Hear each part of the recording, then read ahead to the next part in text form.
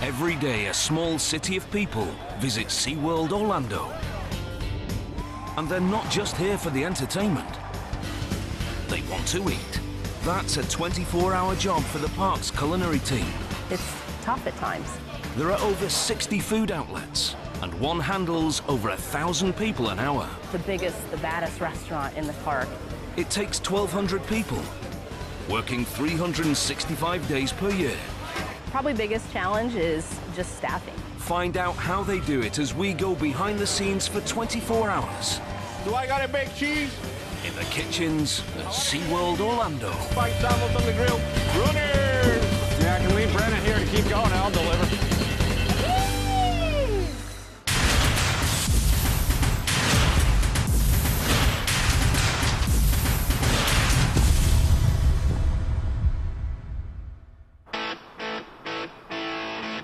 SeaWorld Orlando is more than just fun in the Florida sun. It's a culinary experience. Behind the scenes of this theme park, an army of staff feed thousands of people every single day. On a daily basis, we can feed upwards to 12,000 meals a day. Easy. That's just meals. It's massive, the, the number of restaurants that we have in this park. In any given hour, we can feed 5,000 meals. Kathy Valeriano is head of the park's culinary department.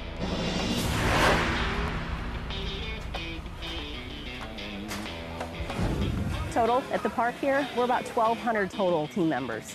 We're the largest department of the, of the SeaWorld parks here in Orlando. You need these things to what? Under her command are 13 restaurants, over 50 kiosks, and a host of specialty dining. There's really no place in the park that you can't eat.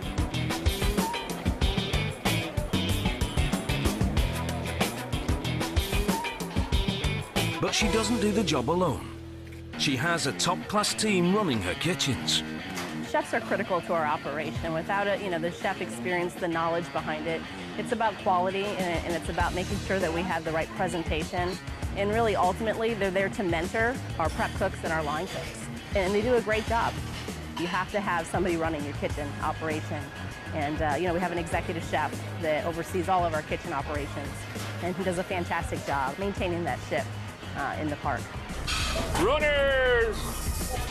You got a filet mignon rare coming up? Do I got a baked cheese? The man in charge is executive chef Hector Colon.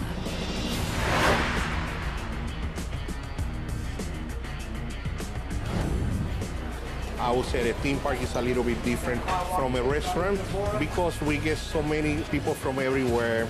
We get different culture, so we have to accommodate. We do a lot of food. Yeah, we do a little bit of everything. You know, a lot of people think that you go to the theme park, you're gonna eat hamburgers and hot dogs, and I said no. Come over here, have a good meal. If I'm gonna sell you a hamburger and a hot dog, gotta be the best hamburger and a hot dog. And one of his kitchens handles more than most. Voyagers. the biggest, the baddest restaurant in the park. Thousand meals per hour, four cafeteria lines, center of the park. Um, you know, seats 700 people at any given time. Voyager's popularity stems from its main ingredient, barbecue. You smell it as soon as you walk into to the gates of the park. You know, people are searching for that barbecue. And there's no hurrying perfection. So money needs to go down and take over for chef. It's a hustle and bustle. I mean, there's uh, preparation going on all day long. You okay? What you do to your foot?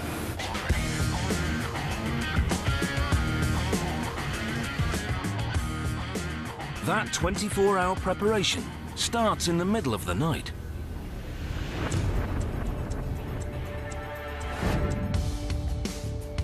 The park is closed, but the ovens are still hot. At midnight, we are actually smoking our brisket in the park. Uh, all of our smoked fo- foods are loaded in before we go home.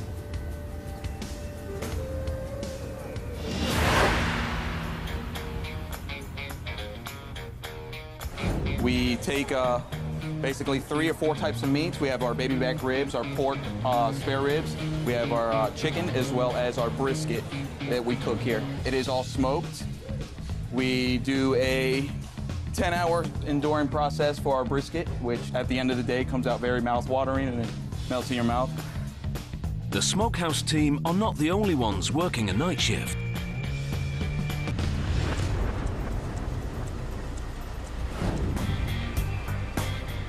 Three hours into the day, and the bakery has its hands full.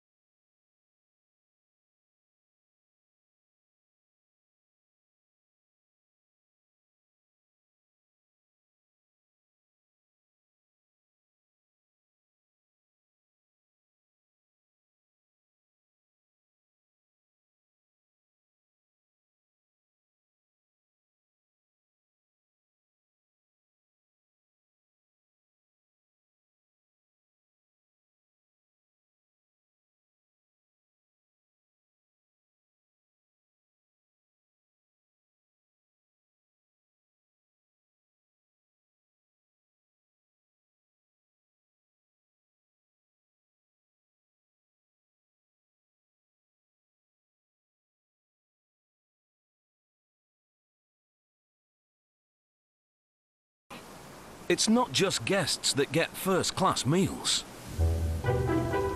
The park's residents have their own catering team. It's 3 a.m. and Supervisor JP opens the Marine Canteen. He has just three hours to deliver the day's feed. You're looking at about 2,700 to 3,000 pounds of fish each morning that two of our team members actually come in, prepare, and put in every bucket you see here. And once we get them in, doesn't stop there. You got to pick them all up and start getting them to the truck and get them out of here as quick as we can. We need to have everything pretty much delivered throughout the park by six o'clock. With just three staff on duty, it's a small team with a big responsibility.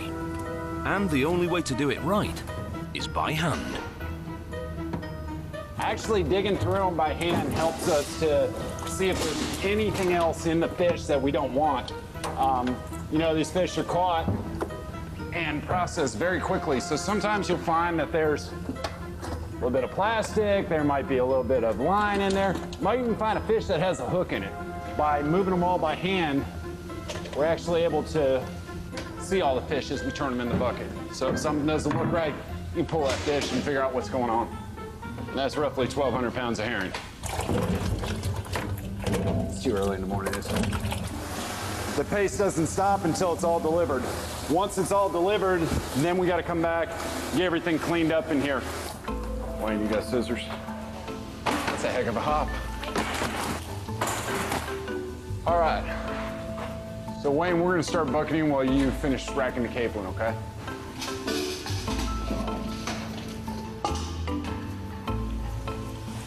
I've been doing this for 20 years. That's how much fun this job is. I mean, this job's so much fun that for 20 years you're willing to come in at 3 o'clock in the morning and break out fish. I mean, it's, it's a neat job. Brennan, you ready? Oh, yeah. Start filling buckets. Every bucket is portioned. We got a lot left before this is done. And these fishy superstars have a big appetite. We deliver 1,800 pounds to Shamu Stadium. So we try to have all our fish to Shamu by 5.30 at the latest in the morning. And then we deliver to sea lion and otter, pinniped, all the different areas in the park. But JP doesn't save any for his own grill. Uh, I'm highly allergic to seafood, so I, I don't eat seafood. It's an interesting little fact. Well, you take down to one if you want. I mean, I can leave Brenna here to keep going. I'll deliver.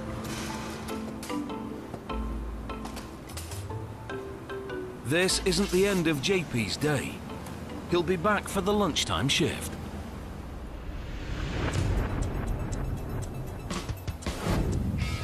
Just six hours into the day, and across the park, catering supplies are streaming in.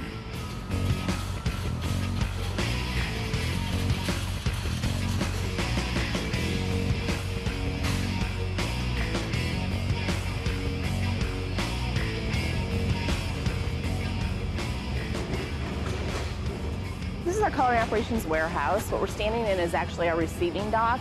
And right over here behind us is where we have our truckloads that come in 365 days a year. We get up to three truckloads a day. It's a nonstop operation. This is a massive warehouse. So like this aisle here is all of our plate goods that you're gonna see. It's all of our cups, um, all of our bowls, all of our plates. Um, you know, we also have uh, an off-site property that can house some of this backup force as well. This is our part of our refrigeration cooler. It's also a cold storage receiving dock. You'll see the big doors behind you. We get cold storage receiving in here, and each bay houses the different products. So this is our produce cooler, our dairy cooler, and then our meat cooler. Three teams work around the clock to keep the park's kitchen cabinets fully stocked. We picked the orders at 8 o'clock the day before. So they're loading those on trucks at 3 o'clock in the morning and they're delivering out to the park because we have to be ready to go no later than 11 o'clock. It takes that long. Hitting the right mark on this shopping list every day takes more than luck. It comes with years of experience. Good. Are you coming in? No? All right. Thanks. All right. I started when I was 15 years old, and I lived, lived around the corner from SeaWorld Orlando, and my mom said, you need to go get a job. I came over here, and, um, and I applied for a position, and I got it. And I remember going home and telling my grandfather, who's long, you know, long passed on at this point, that I got a job. He thought I was joking. He's like, there's no way. You're 15. No way. And to this day, my grandmother just cries when she sees the position I'm in. You know, says your grandfather would be so proud. He'd be so proud of you. I love it. I stay because of the people. And one of her earliest jobs was working the park's legendary barbecue. So I actually smoked all of the, the ribs and the chicken and the brisket. I got up and I cleaned all the hoods in my pit outfit. Kathy's shift no longer starts at midnight. But with an operation on this scale, she's prepared for anything. The theme park business, it's not a nine to five business. It's not holidays off. That's our peak time. In less than three hours, the park doors open. That puts extra pressure on the bakery. Because one of the first items on the menu is breakfast.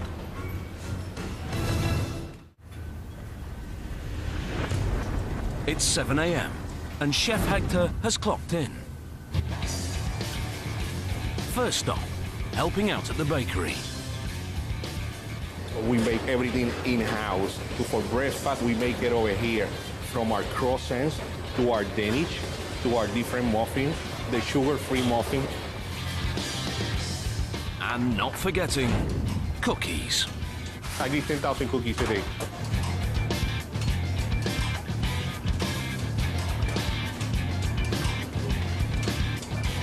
It's already eight hours into the day, but preparation isn't over.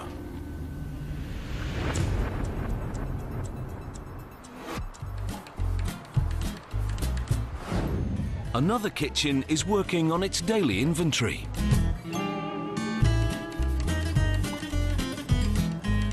Everything is all about candies and chocolate over here. You know, in the annually basis, we do about 20,000 pounds of fudge. Every month, a new fudge flavor hits the shelves. For the summer, I go for the watermelon. Watermelon is something different, something that is, is unique. Because we're in Florida, we love watermelon, and we, this is the season for the watermelon. We're all about having fun, you know, creating something new with the candy, and at the same time, just having a good time doing it. There you go. Would you like to do it? There you go, just like that.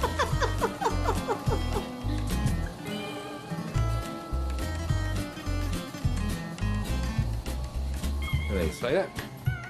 And that's our fudge a few steps away, the bakery delivers their first batch of the day. Just in time.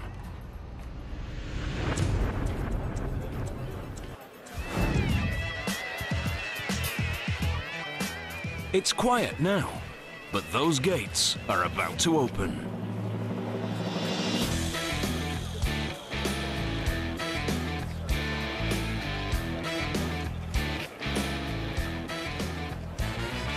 So is breakfast. And it's not just pastries on the menu.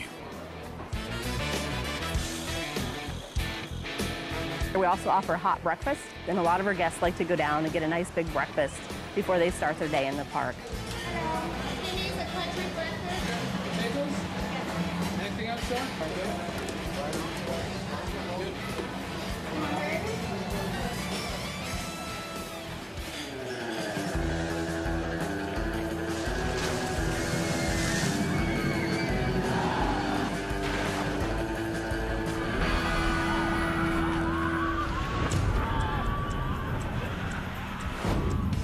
park's been open for an hour.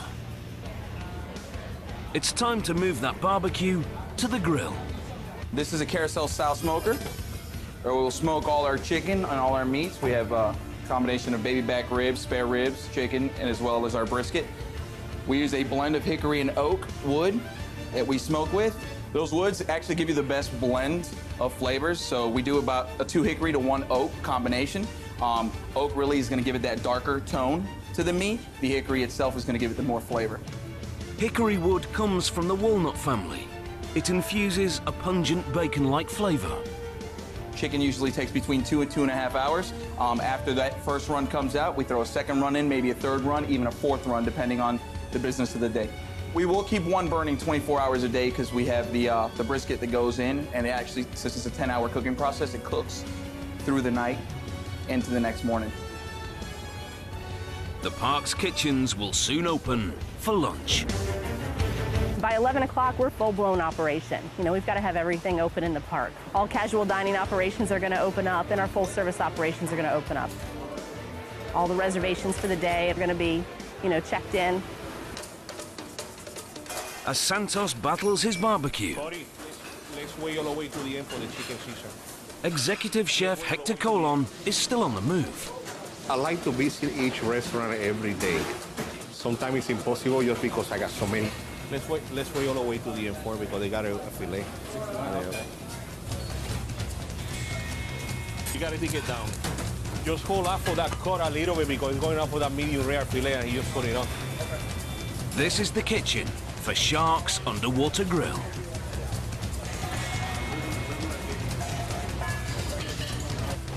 The park's premier full-service restaurant. But don't don't smash it like that. Just this. Want to leave it fresh. On the top. You know you don't. Organization is the key to an efficient kitchen. Basically, by station it's just I call it uh, everything that is, needs to be fried is one station. Everything needs to be in the grill or in the broil is another station.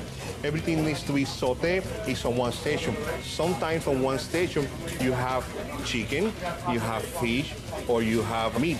But you're doing the plates that come from each different uh, equipment in the kitchen. So we don't want to have everything mixed up together.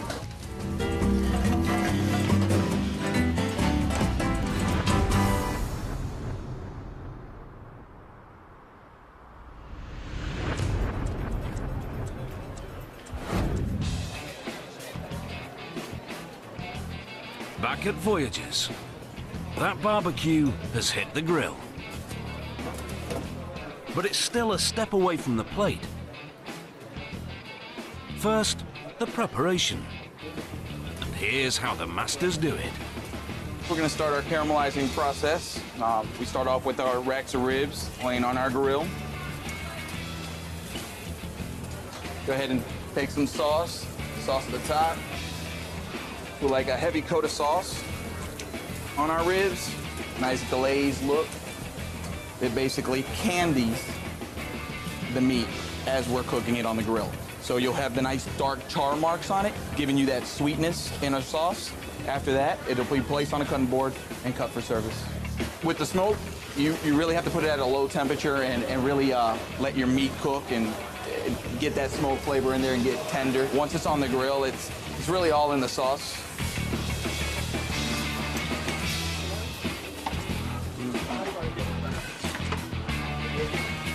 You've got to like the heat to stay in this kitchen.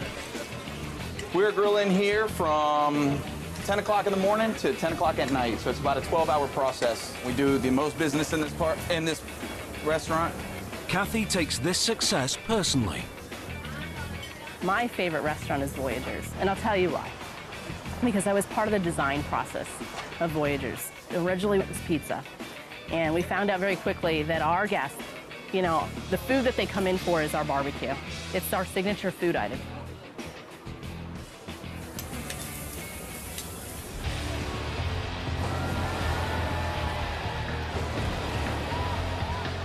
The park's visitors are busy enjoying the entertainment. But once the smell of this barbecue hits the air, Voyager's lines will be overflowing. At its busiest time, this single location serves over 1,000 people an hour. Right around noon, 12:30, 1 o'clock, we actually uh, start having double show breaks. The park is famous for its shows, from killer whales to comedic sea lions. In peak season, there are over 20 shows every day. But when the entertainment's over, thousands of people will leave the stadiums and head for the food. So, Kathy's top food tip? You know, the best times to come to our restaurants is before noon or after 2. Our peak time is lunch. You know, everybody's trying to eat at the same time in the park. Um, if you hit us in between the shows, that's going to be another peak time. We're a show-driven park, so you're going to see the shows, several thousand people coming out of the stadiums every 30 minutes. So when a show's going on is the best time to actually eat. You know, so if you've already seen that show, come to the restaurant because you know the restaurant by it's not going to be that busy. So you can enjoy dinner, you can enjoy lunch, and then you can catch that show later at a later time. Those are the best tips for culinary. Less than 12 hours into the day, and the culinary team have already cooked its way through a truckload of pastries and a mountain of meat. And there's still 10 hours before the park closes.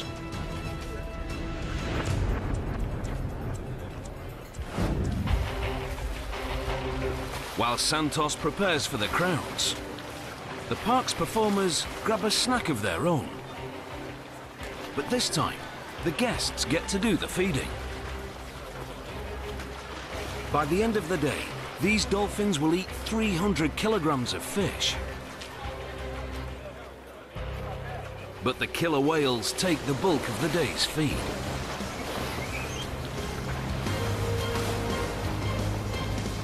They'll get through JP's buckets in no time.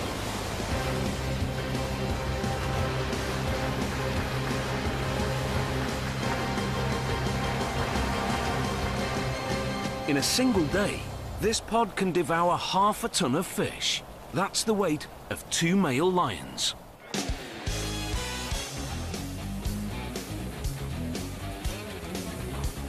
The lines begin to grow at Voyagers. But it's not the only eatery with a lunchtime rush. Spice Mill, which is probably our most popular, aside from our barbecue restaurant located in the waterfront. And that serves our hamburger and french fries, very popular with our guests. Um, you know, at times we can have lines out the door. Each restaurant has its own prep area. It's another of Kathy's passions. It's about quality. That's why. You know, we want we want to make sure that what we do is transparent to the guests. We don't want a big production house in the back where things are coming from one centralized kitchen. We want things made fresh right in front of our guests daily so you can see the food being produced right in front of your eyes. Spice Mill has more on offer than just barbecue. So a lot of the trends that we're seeing today and what guests are asking for is more healthy alternatives. You know, we're seeing a lot of uh, vegan requests. We're seeing a lot of requests for kid-friendly, um, smaller portions, and we certainly keep up to speed with those type of things. And special dietary needs. We'll be happy to prepare a meal for any type of allergy in our park. Our entire leadership team has been trained on how to handle allergens. Yes, I'm allergic to dairy. Dairy, okay. Yeah, so I'm just trying to figure out what my options are. Let me show you over here real quick. This is something that we have for all the restaurants in the park. It's Karen McAllister's job to make sure every allergic eventuality is covered. Common allergens would be dairy, wheat, soy, tree nuts, peanuts, fish, eggs, to name a few. We have allergen binders that are tools that our leadership can use in every facility um, that help guide them through the specific menus and recipes and guide them through options for guests depending on the type of allergy that they have. Yeah, okay, great. I appreciate your help. And she personally understands how unusual they can be. I do actually.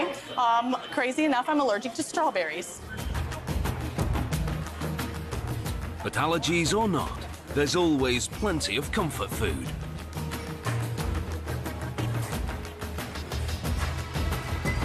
In a single year, this park gets through 100 tons of hamburgers and nearly 600 tons of fries.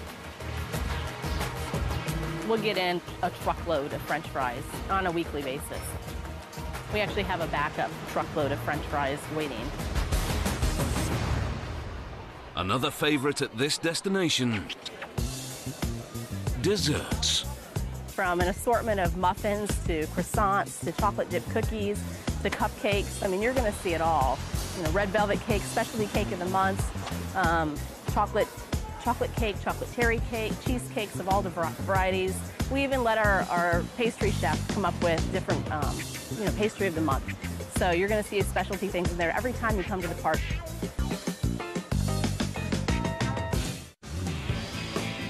Twelve hours into the day, and the bakery is still cranking out those pastries. And they don't just have a special dough machine to cope with the load. They also have special ovens. Or sometimes when you cook at home, you get the half of the cake is a little rice and half of the cake is a little low. So that's what we do it over here. We're trying to rotate it so it cooking is a little even.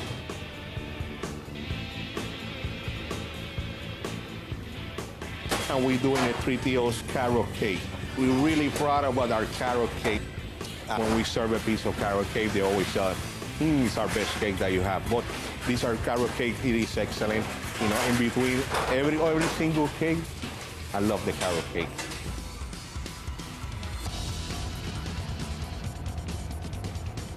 Each cake is decorated by hand.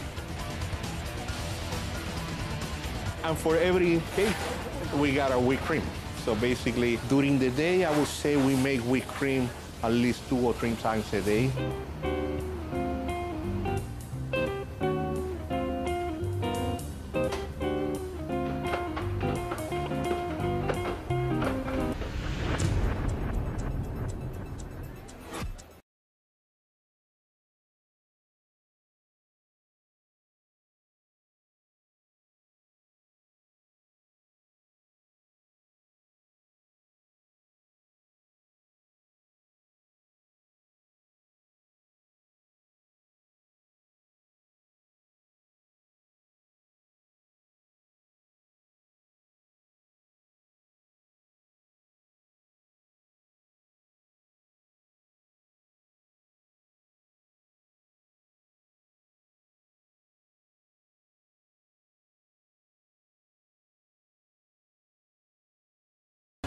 But the park also has some vegetarians to cater for.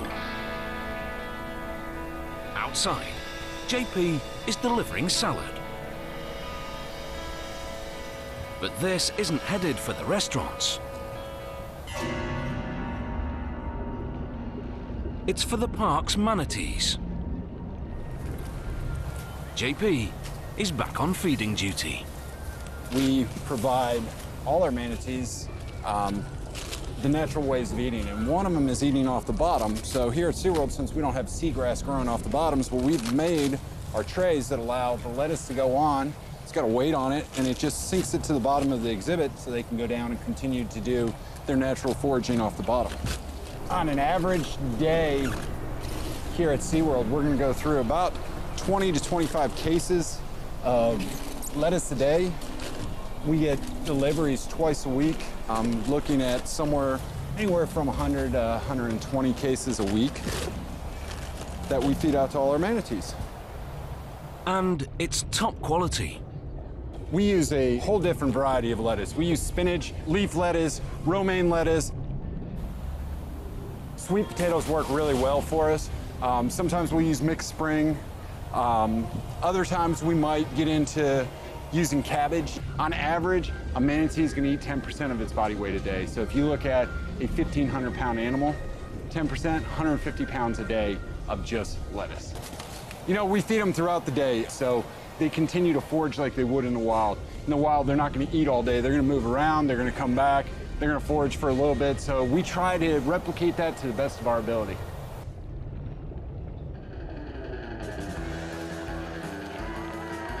It's mid-afternoon.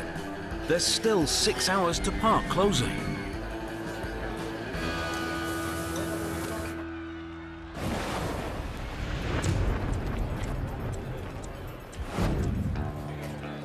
As Voyagers winds down, Shark's Underwater Grill heats up.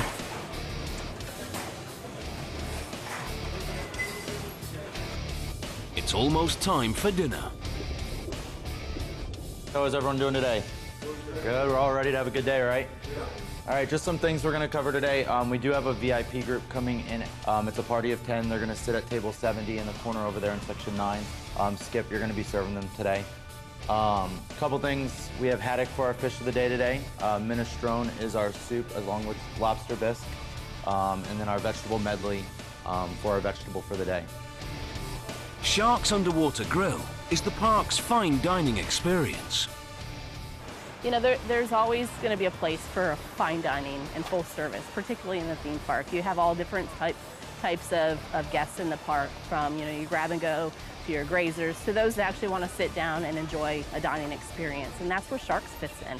You know, it's not just a full service restaurant, it's, a, it's, it's an experience. When you walk into Sharks Underwater Grill, you see from floor to ceiling sharks. You know, it, it's not something you're going to see anywhere else in the world. We're really proud of it because this is the only place that you can come, relax, sit down, nice air conditioner, plus have a round the view view out of the shark tank. It may not be on the scale of Voyagers, but this restaurant still has to make the pace. Manager of this establishment, Mike Frasker. Typically here we do about 120 covers an hour. Um, so in a 10 hour day we do about 11 to 1200 covers a day. And it's not just people that eat here. Someone has to keep those sharks happy.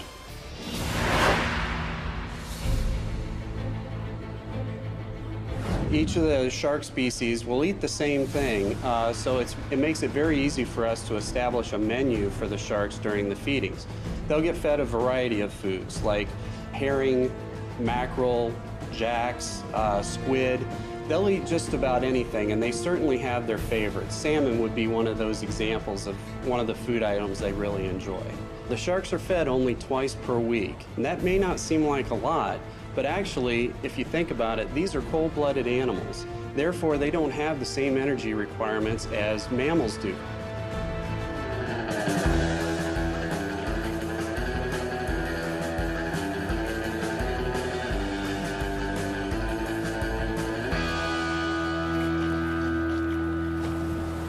Back in the kitchen, Chef is looking to update some menu items with Kathy's help.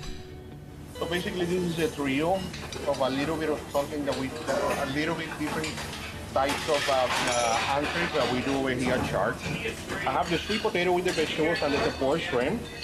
I have the grilled salmon with the uh, uh, sauteed spinach, with the uh, uh, blue cheese fondue, and I have the ravioli with oriental vegetables and a full wine demi. Okay. So basically it's a trio, surf and turf Nice. of, uh, of a different entrees that we provide over here Nice. at Sharks. You have the short ribs, ravioli. Right. You have the tempura shrimp, plus you have the grilled salmon. It's a sample platter. It is a trio platter. You got three different kinds of meat. and uh, basically you use it to seafood.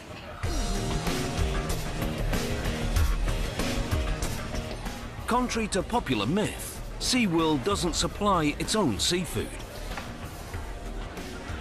We get that all the time, and the answer is no.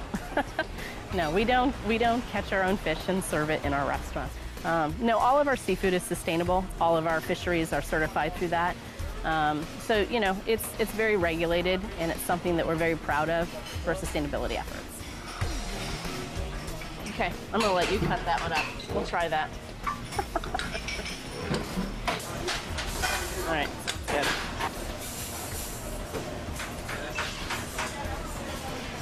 really good. Very good. Very nice. These new dishes will hit the plate soon. But there's one menu item that's ever popular. Steak. And even this staple gets the chef treatment. It's a one pound ribeye steak. Basically, I'm just gonna put a little fresh vegetables on it. And I'm gonna finish them up with a little bit of uh, a demi glaze. Basically, it's a reduction of veal bones and stock with some red wine.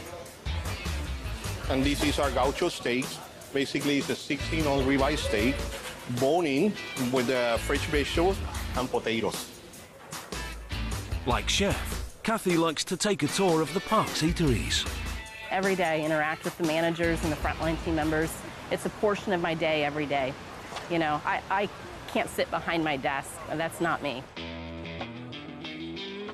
So can you walk me through the dining room and, and show me how, how your layout's doing? My role is to be out in the park. We have thousands of guests coming through the front door and you know we have all these restaurants in the park. It's my job to be out there to make sure that things are running smoothly. Even to this day, I love to get out and actually get behind the lines at times. I have to force myself not to, um, you know, because it's just so, so much fun to jump in there and talk to the guests and move the lines and do it yourself.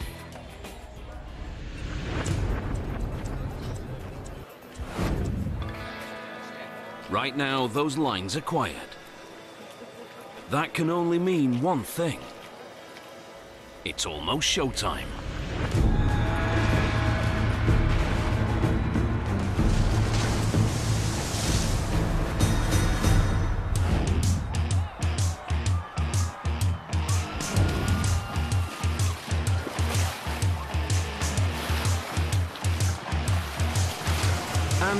The Florida heat, there's a host of cold snacks to enjoy while you watch.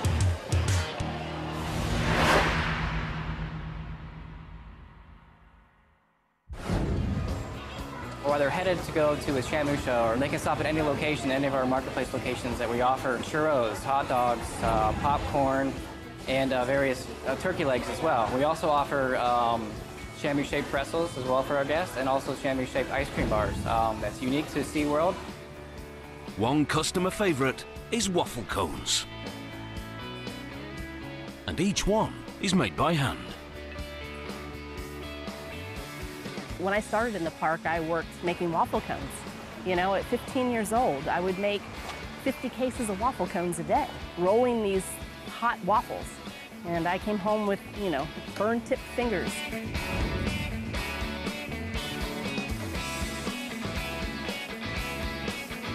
Um, we typically go through about 300 a day. We also go through, as a SeaWorld park, we go through 24,000 gallons of ice cream. And the most popular flavor, chocolate vanilla.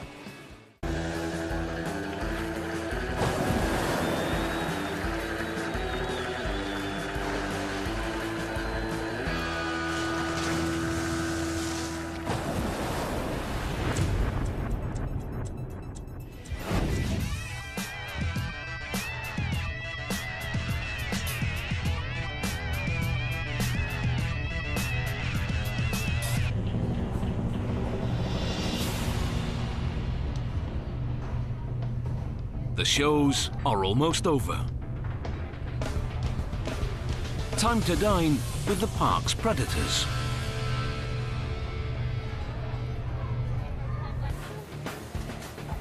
The Shark's kitchen is about to get hot.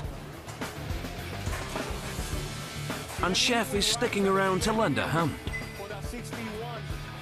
Running this kitchen takes teamwork You got a filet mignon rare coming up. On both sides of the stove.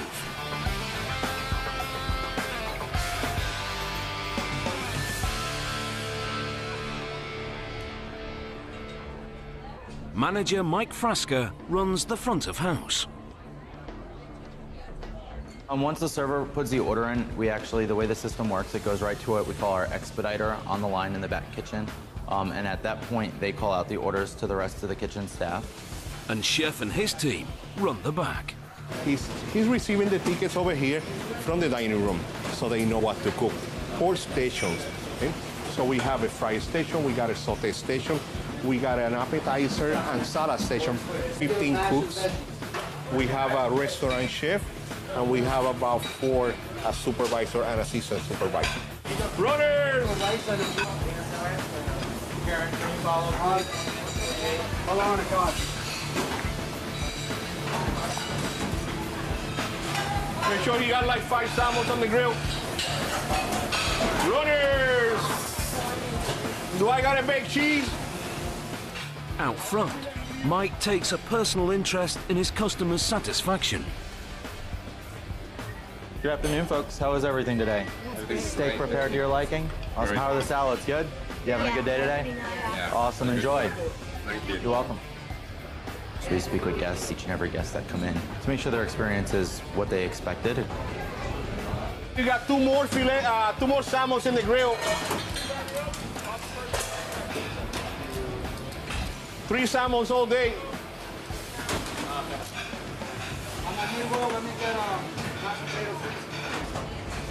Do you have a, a shrimp ravioli as appetizer?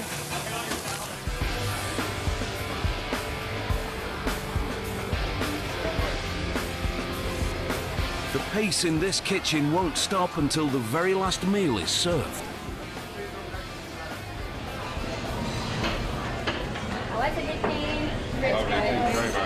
It's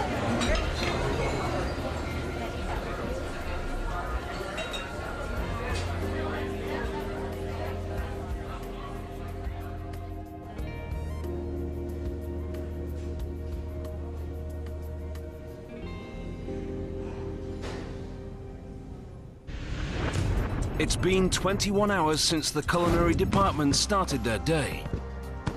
And it's not over yet. Most kitchens close by 9 p.m., but the park doesn't. There's still a fireworks show to enjoy.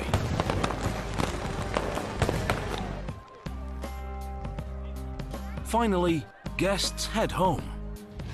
And the big cleanup begins.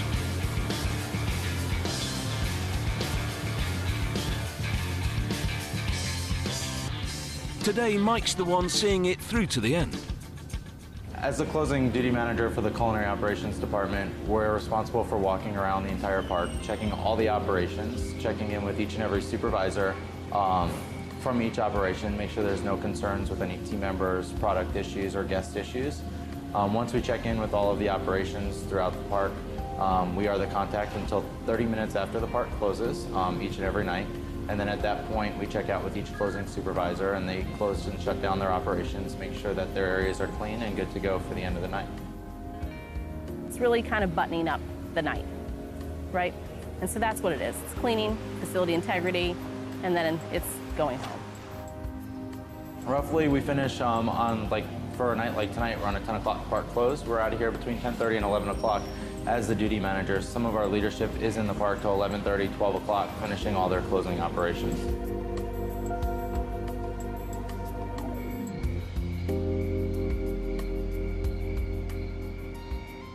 As Mike leaves, tomorrow's crew arrives to start the cycle all over again.